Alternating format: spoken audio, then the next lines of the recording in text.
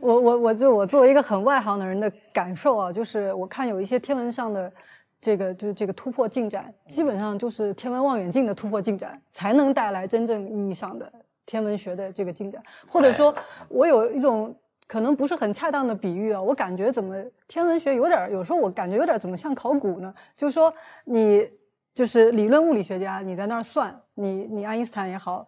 那个狄拉克也好，你算，然后你在家里就能感，就你能算出很多东西来，应该是那个样子。然后你必须，那就像这个考古的说，我觉得史书上可能应该有这么一个东西。然后那个做天文望远镜的，就是真的要去嚼，就要去现场，他要挖出来，我要看见，我要看见，我要证明接收到这个信号，它才是。然后这是两个分支在朝同一个方向努力，只有当他们的发现合上了，我理论也觉得是这样，然后我那儿也看见了，证明了这个东西才是。觉得是比较确定的一步，跟考古有点像的，就是说我们现在看到的其实都是很早以前的事儿。对天文来讲，其实随时随地它老会发现一些大家以前谁都没见过的东西，然后你想想都没想到的东西。有人真的关心小行星撞地球的事儿吗？呃，这个当然还是有的。小行星撞地球有这个危险吗？呃，有这个危险。实际上就是最简单的，其实你就看月亮就知道了。月亮表面其实密密麻麻全都是坑。对呀。那么这些坑。绝大部分都是被砸出来的，就是月月亮表面的这些坑有有一小部分啊，有有很少不到百分之十，大概是跟以前的火山有关系的。现在好像已经能够认定，这证实就是说那个墨西哥那边叫什么尤卡坦半岛，尤卡坦半岛那个坑，说就是六千五百万年前，嗯，就导致就很有可能是导致恐龙灭绝的。对对对，那个那得多大的一个？那个是一个大概十六公里大小的一个。小行星一个，而且是一个大概金属金属，因为因为因为当时之所以发现这个事儿，其实当时就是因为在对应白垩纪的那一层土比较发红。当时是一个美国的物理学家去意大利玩的时候，其实是看到这个现象，然后回去问他爸，然后他爸跟他说：“你你去测，测完以后就发现，在这层土里之所以它发红，是因为它有一种一，就金属一啊，一字旁衣服的一，一个金字旁，金属一的含量特别高。后来发现这个现象不光是在意大利这个地儿有，其实在。全球好多地方都有，那结论是什么？就结论就是说，地球整个地球对应白垩纪那一层土，其实都是发红的。这整个这一圈算出来以后呢，应该是一个大概十六公里左右的一个金属含金属一的一个小天体，呃，撞击造成的。整个它会变尘埃以后，把地球哦罩住几年，就像核冬天，呃，道理是一样的。其实它文章发表过了几年之后呢，就是有人在墨西哥湾附近啊，尤卡塔半岛，就是。地质考察的时候，就发现一个环形的结构。这个坑呢，大部分已经是在海里了，但是，嗯，但是还还有一部分在岸岸边。就这坑直径一百八十公里，就基本上和原来人家这个预测的大小是一样的。测出来年代就是六千四百八十万年前。那我们今天的这一代文明，这这这这这这这一个系统的文明，有没有可能遭受什么天外的小行星撞击，导致灭绝？这件事儿是。理论上这件事是一定发生，一定会发生的。就是如果你不管它的话，大家不要一听小行星撞击就小行星撞击球就觉得我我们就那个，其实没事儿，就是它跟大小有关系，就是说对吧？它越大肯定是危害越严重，但是呢，它发生的概率就越低，它越不容易发生。你像恐龙灭绝的这个，大概平均一亿年发生一次，就是这是我们知道的，你能算，因为我们现在根据它大小分布，包括你去数月亮上的陨石坑都能数出来，就是说基本上这个是知道的。然后比如一公里大小的。那可能大概是在一百万年左右发生一次，因为我们现在观测能力比较强了，就如果有十几公里大的，就我们肯定会提前，怎么也提前个几十年发现的。但是小个的其实是很多的，就是我们现在发现的第一个被发现要撞地球的小行星，就是叫二零零八 TC 三，就是二零零八年十月份发现的那个，发现完了以后大概。二二十几个小时就就就砸地球了，砸了，但是砸了，砸就真砸了。我们现在天文馆还有一块陨石，你可以去看，就它是一个大概四米四米大的，就是基本上就就这么大个的一个。所以它掉下来以后，其实它会它会一个它会有一个碎裂，碎裂以后其实变成了好多陨石落到地面上。所以当它到达地面，像因为地球有个稠密的大气，其实地球有自己的保护，天然保护的。你比如刚才说的这种四米大的东西。到地面，如果如果到地面还有四米，那就非常危险了。它在空中呢就炸了，因为它跟大气发生摩擦，然后就碎裂了。我看是 NASA 还是是就是英国哪个就是这个太空计划，他们已经在就是实验，故意去的去把两个小行星质量比较小的，就看我们能不能把它们给爆开，就是说我们把它们给推开。呃，已经做了这样一个实验了。我当时看到这个新闻，我的感受就是，谁让你去干这事儿了？万一掉在我们这儿怎么办？其实从一九九七年开始，就是天文学家开始发现撞地球概率不是零的小行星了。外国拍了一电影叫《不准抬头》，哎，好多人聊这个电影。嗯当年我们俩呃，就是做这个《锵锵行天下》，到这个哪儿啊？到到希腊，到希腊，在他们一个博物馆里啊，他们的一个雕塑，在今天人看起来就像抽象雕塑一，就像抽象雕塑一样。然后那个导游就说，这叫仰望星空，嗯，就是他那个人就是这样，全是这样的，全是这样的。嗯，哎，后来我就记得他在说，他说我们今天都是低头看手机。那天我看见一个一个古代的一个算哲人吧，呃，他就讲，他就说这个宇宙为什么我们感到非常好奇呀、他就说太大了，不成比例的大。他说简直就是我的感觉，就是把我们吞没了。就是我们当我们知道宇宙那么大的尺度的时候啊，你觉得你自己像个原子，就是你这都说大了吧？地球原来就你连个原子子就是就是原子 都不成。对对对呀、就是呃，我我我我还记得有一次我看那个杨振宁呃一个短视频，他们就问哈，就说你相信有没有造物主哈？他说那个我不相信有这个人为的，就是说一个人格化的这么一个神。他说但是呢，确实是感到很惊讶的，就是说这么大的能量，这么大的这个能量，这么大的距离，它有什么必要？对，不是有什么必要是我说的哈，它就是一方面神秘的是，按说呀，你完全不能了解它，可是呢，对对对，物理学家又告诉你，就是说它神奇的地方在于，我们在很大程度上，它按照我们的规律法算法运转，算是吧也就一百光年、百亿光年之外的，它不违反广义相对论。你说，那你这么一个连原子都算不上的这么一个渺小的这么一个生灵，你能推断出它？呃，就比如说当时说最早这个天文观测，说西方的天文观家，他们最早的一个惊讶就是说，原来我们看到的宇宙都是相同的物质组成的。嗯，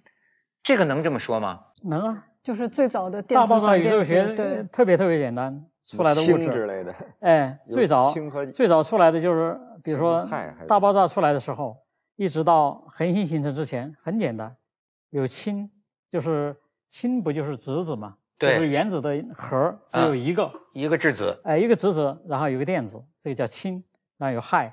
氦呢当然有氦三有氦四，氦氦大部分是氦四，然后还有一少一非常非常少的锂，就这么多东西，然后其他东西都要经过恒星演化以后才有的，所以宇宙里头最早就这么简单，就这么几个东西，对啊，它那么大，但是实际上就是由基本上一样的物质组成的。哎，这对我来说，就对天文学家，就是现在我们天体物理掌握的知识来说，这个相对来说还简，还更，比如说我我的疑问是，我们人，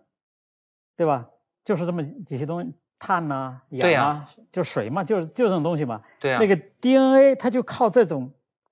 很少的几种元素，把它弄得这么复杂。比如说，为什么我跟猪精长得不一样，对吧？甚至甚至还有生物多样性还有一这对是很难的。这生物多样性这个比这个实际上就是哎理解起来人肯定。比宇宙要复杂的多。你刚才那个问题从天文学角度来说那当然还你对宇宙你比人要容易的多嘛，它对非常简单，对就几个物理规律直接就什么都算我跟你说，这邓这邓博士说的太好了。这邓博士说的就是我看到的那本这个论著啊，他的下半句话，他说一方面呢，你要仰观宇宙之大呀，你就觉得你没有存在感了，就是小的像个原子。可是另一方面呢，你也包括一个宇宙，因为咱们就不说别的，就是这个大脑的这个神经元，这里面的这个神经元之间的联系复杂，就是这个大脑现在这个仅根据科学发现的神经元之间，甚至组成神经元更小的是基本粒子的层面上看，它比宇宙的复杂一点都不差。那么也就是说，你自己你内涵得复杂的多得多，就哦，你都觉得人就人体内在的比宇宙还复杂。比如太阳、地球绕太阳转，你你知道它是怎么转的，你永远都我一下就能算上，几百年以后都能算上，几千年以后。但人其实不行，你比如过过五分钟以后，咱们每个人想什么事儿，你自己都不知道，你任何人都不知道。这个是因为我们对这个东 西，的认知可能还不够，但我觉得对对对，但是天文不是也很奇妙吗？就是你们其实不断的在刷新自己的这个知识，嗯然后通过望远镜的这种这个发展，不断的把你之前那一代人认识的东西可能彻底推翻。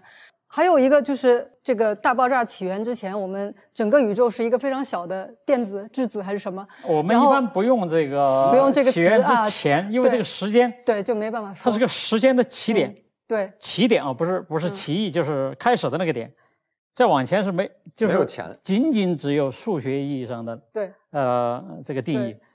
因为实际上呢，因为它是既然是起点，因为时间它不会往回溯的，对不对？对所以这个是哎对，那作为天文学家，你不关心数学之外的存在吗？呃，应该是说呃必须关心吧。实际上我是这样的，我我个人的这个成长经历，实际上我最早是做偏理论的一部分的，玄学研究的，不是，那倒不是，开玩笑，开玩笑。我学我大学学理论物理，哎，对对。然后嗯上研究生的时候是做偏理论的恒星物理，然后在国外上博士的时候学的是纯纯粹的，就是呃计算机上面的去研究恒星的叫恒星演化理论理论。那回到这儿，我们一起就开始做观测了。实际上观测就是真是特别好，就天文观测是你你知道我们现在所谓的未知有两种嘛，一种是未知的未知，就是你刚才说的，你可能是你没有预料到的；还有一种叫已知的未知。我知道原来的东西，但是我们从来没看到过，所以这是我们天文学家比较确定的一个努力方向。我们同时还还在找那种我们没有预见到的这种位置。所以这个，比如说像时域天体物理，为什么现在这么这么新奇？就是以前呢，我们不管是望远镜小也好，大也好，我们都是啪拍一张照片，啪再拍一张照片，对，然后去研究那个照片里的东西，或者是光谱或者照片，都是一个时间点。但现在我们是，比如说我盯着那个地方看，我持续一段时间，就是我们说的时间窗口，因为随着时间的变化，它里头会产生一些现象。所以天文现在就是一个是看见新的东西，还有一个就是看发现新的原理。所以天文观测实际上最美妙的东西就是是发现未知的位置，而不是已嗯知的。已知的位置当然也很好。对。哎，以军，你刚才是想问什么？哦，没有没有，就是他们有一种说法，不是说我们诞生于一个真真空嘛，然后产生了电子反电子，然后这电子反电子在一起就会就没了，但是可能很多很多在一起之后会有会有当中的一个会留下来，就形成了我们最早的一些就是这个物质。那么这个理论实际上就我们从后来我们所看到的一些哲学意义上话说，这个一花一世界。一叶一菩提这些，其实跟它有一种对照，不是也很奇怪吗？就真正的地上的万物，包括我们人体，所有这些跟天上的这些东西，它真的是有对照。所以你看，这个我们我们文科生觉得你那个我们都瞧不上，没有没有我们要一研究就研究根本的、根本的不大的问题这。件事情我一直很奇怪，这能这这能有所比吗？还是一种附会？我觉得不可比，因为我这个作为一个自然科学家，我说是 坚决反对这种东西的，因为这个就是你刚才说的这件事情，科学的来说的话，我们要做科学，我们一定要讲证据，逻辑要对，要有要有理论去支撑它，然后能够产生预言，就是科科学就是能够被证伪，对吧？然后还有一个最重要的东西，还能够预言。你比如像你拿那种什么，你刚才说的这个。一花一世界，一沙一哎，片海。对你像像这种就是没边儿的，就是它它可以，不不 哎，这种思辨啊，它是它是可以没有东西去支撑的。嗯，包括完全自由想象有生与但是科学无不能这些，嗯对吧？对，呃，但你刚才说有生，哎，你刚才说是举那个例子，你不能拿来支撑这个理论，为什么？你说一个正电子一个负电子一碰在一起就没了，不会的，它一定有别的，对，因为这里头我们现在知道的肯定是有，就是湮灭以后，对就正负的东西湮灭以后，它是有个能量。对，对吧？有伽马光子出来，伽马光子本身它也可以蜕变成为一个正负电子对，或者是正负什么别的粒子对，产生这个产生这种这种互相转换。我们有物理学，比如说最基础的就是几个守恒定律啊，所以这些东西不是说什么东西可以无中生有，或者呃从有变完全变变变得没有。对，哎你知道它一定是这样的。你知道凡人的好奇嘛，这呃不是哎这个这个好奇也是是非常也解读的也是非常有意思的。对对对这个我我我觉得啊，嗯太多的咱们不是专业科学家的人呐，他喜欢这么解读。但是我知道，就是说啊，文学性的语言和一个实证的一个科学，比如说同样是无中生有，不能因为几千年以前有一个圣人说了一句无中生有，那么我们就说他早就发现了，是吧？宇宙大爆炸宇宙诞生的秘密，只是嗯，对巧合，它等于只有大胆假设，没有小心求证。不是，但是就说 我们这这，我又觉得这是这是我们啊，呃，对宇宙感兴趣的原因，还是应该抬头看。你老不抬头看吧，实际这辈子活得有点吃亏。就当然，我也不相信到死以前我们能了解宇宙的秘密，但是呢，我觉得能多知道一点儿就没亏啊。生命就是几十年啊，就是你比如说。它因为它关系到一些，可能你这个实就实际观测的科学家是不是不关心这些问题？我非常关心这些问题，因为我觉得这些问题跟我该怎样度过人生都有关系。比方说、啊，我也关心啊，对，我也关心。你你你关心吗？所以哎，我不又跟人探讨，我觉得这里面太多问题。比如说说那个引力波，那个来一个，呃来来个啊，嗯就探测到了十几亿光年外吧，两个黑洞引起的这个引力波。嗯你知道它探测的这个精度啊，都到了说什么呢？就是这个空间，咱们就说水波，我们能理解，扔块石头，哗，这个水波纹过来了。但是他说引力波，他们这么打比方，说这么这么过来了，怎么样能测到有这个引力波呢？就说它那个那个空间的那个形变，说是比一个原子核的一是不是一千分之一？我我记不清了。这是一个很小的量，就我也记不清非的那么你想比一个原子核的多少分之一，那么小的一点这个变化，它光是它那有两两个臂，两个臂呢，它就测量空间朝着这个方向的变化和朝着那个方向，这是引力波它的性质，你必须要两个垂直的方向去探测它。对，这个臂呢大概几公里的量级，但是它现在几公里的量级以前是失败的，就是 LIGO 在升级之前呢，它是做不到的，对，因为那个太小了，就是刚才说的那个具体多少，因为我不干这个，但是我知道这个大致的原理啊。他就最后是非常聪明的人，他设计了一套装置，让这个光在里头来回的反射，反射多少次以后，相当于把这个臂延长了很多很多。对，相当于比如说，对于三公里的变化的范围，你完全不可不可测量，因为太小太小了，实在是。但是你如果延长几十倍以后，它那个这个东西也放大了好多倍，所以嗯测量就容易多了。所以最后它的成功是靠这个东西造成的。但以后我们还有别的别的手段，比如说对不同的天体的并合并合事件，就是所谓引力波是怎么什么东西产生的？就是引力场发生变化嘛。对，但是这个我就说引起我们的这个思考的是什么呢？就是说，呃，如果你说水波，那它是水的逐级推动，嗯，那电磁波，那它是有电场、磁场的，这它是有物质嗯载体的，对吧？嗯这个引力波就是空间里的空间的波对，那么它是。时空，时空对，它是对是就那就这个直接关系到那空间是什么呢？你你你对这个不空感兴趣是什么？什么是空间呢？是什么是空间的？它是什么在波动呢？这个像我们这个外行就不理解，说引力波相当于是相当于这屋子它在它在动，所以实际上或者是那尺子在动，所以它一动了以后，你所有东西都在动，就是等比例的动，相当于就等于那个波纹经过我们身体的时候，它实际对对对你也不易察觉的不响应冲形变了一下。对呀、不不光它没让不光你不光是这样形变，它是整个空间，就像那个坐标系在那儿动。对对对，你比如说等比例的，你比如说这你变一厘米，对吧？这个房子变一厘米，然后你比这个房子小十倍，你就变一毫米呗。它就整个框架在那儿变。那这个它把框框架是什么呢？你们想过空间是什么吗？这个就需要空间是什么呢？问题是呃，它里边有什么？你那引力波的介质是什么呢？光子呢，它可以粒子，它可以在没有没有东西的地方传播呀，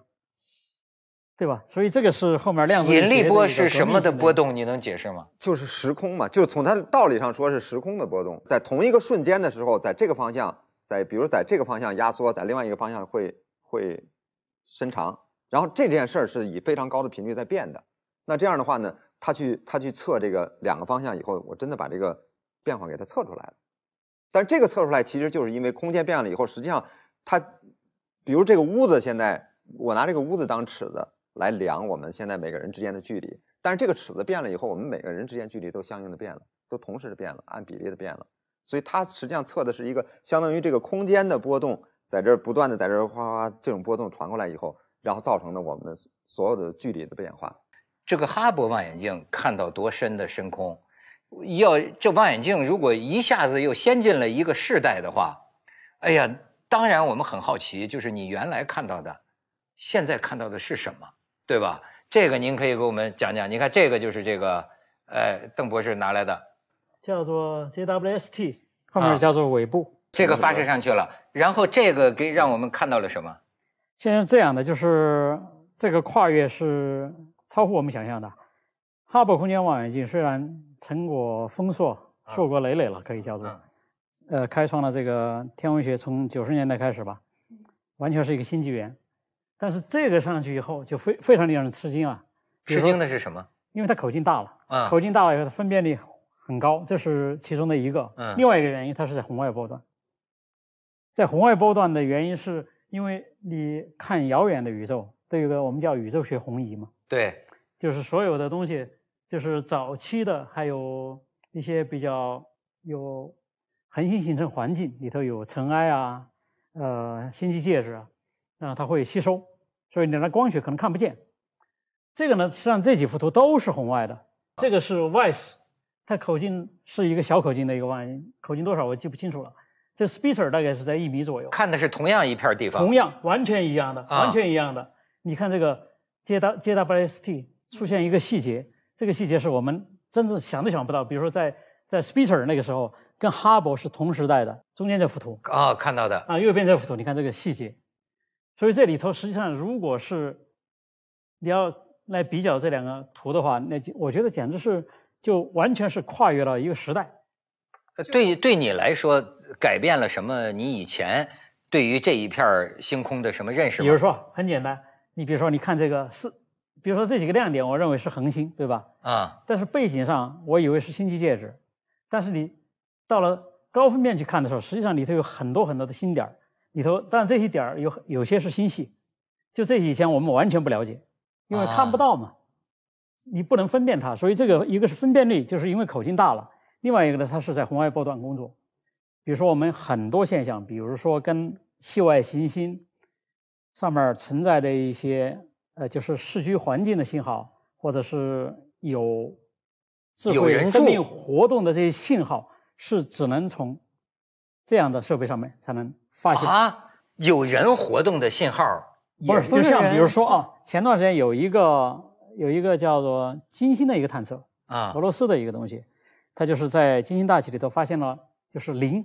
磷的一种信号。我们知道这个大气里头的磷，磷是一种参与生命活动的一种东西。啊！你说氮磷钾的那个氮磷钾那个磷那个磷那个元素，磷化氢，哎，磷化氢，磷化氢这种东西呢，它会是一种生命活动留下来的痕迹，所以当时就很多人怀疑，说是金星上面虽然没有办法生存生命，但是它大气里头随着大气的变化，它有一个温区嘛，啊！所以这里头有可能有某种生命，哪怕是简单的，因为磷化氢嘛，哎，我知道那个鬼火它就有磷，哎，就是它，就我看见了？哎，说的就是它，说的就是它，所以他在那个里头看到这个鬼火了，那就肯定是，那就以前是不是就应该有生命呢？所以这个就引起了，就是闹了一个乌龙。最后那个结果呢，经过大家认真发现，发现是对信号的解读就过分解读了。哎哦，您说这个，这我还有问题了。这个咱们是在新闻上看到的啊，嗯就咱们那个 FAST，就那个天眼啊，啊，天眼，这不新，反正是发过那个新闻，就说收到了那个射电报，你们知道吗？快速射电暴，快速射电哎，报不是不是那个新闻，呃，关于是呃快速射电暴是它的一个科学现象的，它是啊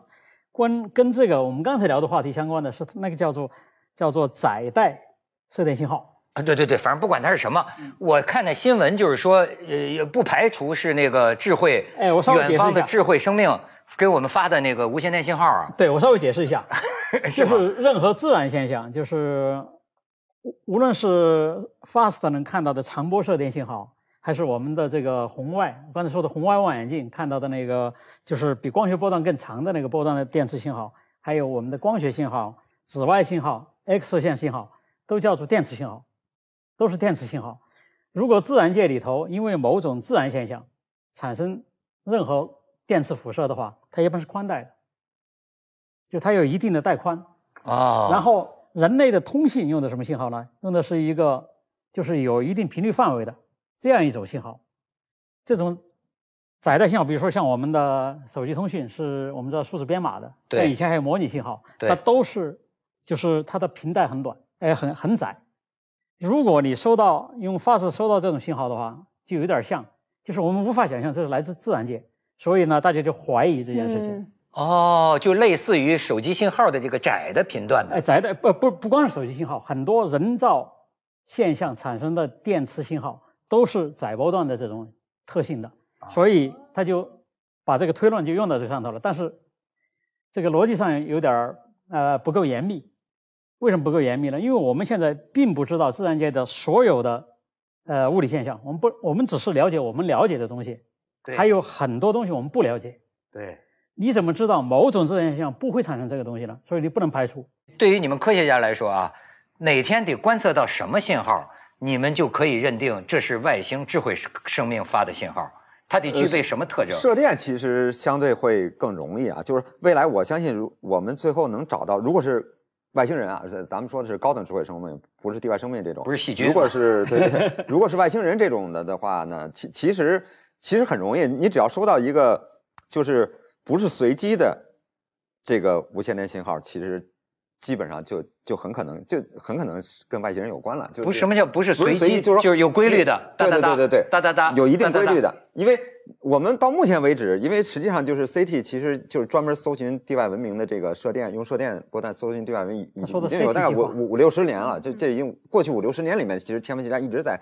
来自宇宙各个不所有方向的可能无线电信号一直在做做这些处理。最早发现有规律的，其实后来是发现是毫秒脉冲星嘛，就是 FAST 现在要做的这个。最开始还以为是以为是外星人的信号，后来发现不是，是脉冲星。但是除了脉冲星信号以外，基本上就是到目前为止接收到的，可以说几乎所有的无线电的这种信号，全部都是完全随机的，就是像噪声一样起伏的。但是可能有个别的，但是就也没有重复性，就就那么一下，比如说响了一下，然后也不知道是啥了。但是如果比如说像我们地球人这样，现在我们发射的这些像我们的电台、电视台这样的信号，假如说发射出去以后，如果被另外一个星球上的就是有我们现在这种能力的这个射电望远镜接收的话，其其实一下就能看出来，就就只要有那这样的就是我们的我们的信息传播，如果用电磁波作为载载体的话，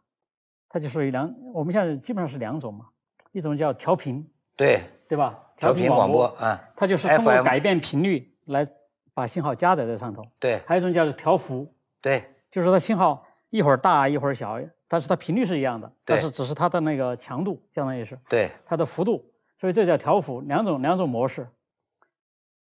这种这是像这样的信号，在我们看来的话是高度有序的，嗯就是一看就知道这个是人造的。就是说是有信息在里面的。对对对，就是很容易看出来。你比如说做做我们比如我们常用的傅里叶变换，一看它非常非常有规律。自然现象呢，它是一个宽带信号，就是各个频率上没有什么特征。但是这么说啊，连规律也是属于人类认知范围以内的。你何以知道人家的没规律是人家的规律，只是你发现不了人家的规律这。太对了，这就是从我这个角度，就是我看见当当初我看见这个 FAST 公布这条消息的时候，那个其实可能也是媒体的误读，实际上不是真哎不不有专是那个 FAST 的那个叫做地外生命呃智慧生命搜寻小组的一个负责人，他发布的这么一条消息。对呀、对呀、我记得是个科学家那。那个是不是不是那个还是应该是媒媒体媒体的误读。按按我知道的，我听到的应该是媒体的误读，其实不是，就是人家本意肯定不是这个意思。那这是什么意思啊？他没有说，他这其实没没有说没这个意思。但是不不不，我希望他有点意思有有点 有点有点这个有点暗示，而且啊有点暗示而且暗示还比较强。他就说这种窄道的信号可能不是我们知道的自然现象，他只这么说。他从另外一个角度，那相当于就是非自然现象了。那那不能这样这样倒倒推。我们了解的非自然现象，嗯嗯对吗？我们还不了解。你刚才说那个太对了，就是我们所谓的规律，也是我们迄今为止发现掌握的规律，对不对？。对呀、还有些规律你可能还没掌握。对，人外星人没点儿，人跟你节奏不一样，人就啪，哎哎，这这个你